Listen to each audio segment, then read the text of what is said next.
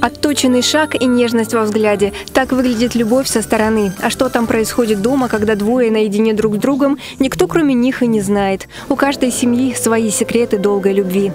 Что важнее, найти сразу человека своего или все-таки притереться друг к дружке? Ну, у нас, видите, как притереться. У нас мы с детства притирались, мы вместе. Мы уже не, не, представ... Росли вместе. мы не представляем, как это быть отдельно.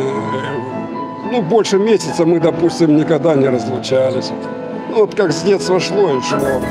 Большинство юбиляров сошлись во мнении, что крепким брак делают любовь, уважение и никуда без терпения. Традиционные семейные ценности. Мы об этом так много сегодня говорим.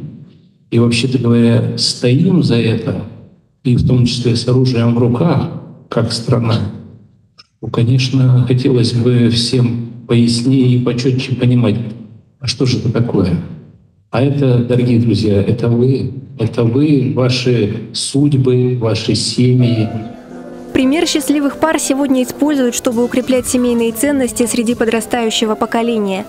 Когда ты вырастешь, у тебя получится такой же крепкий брак сохранить?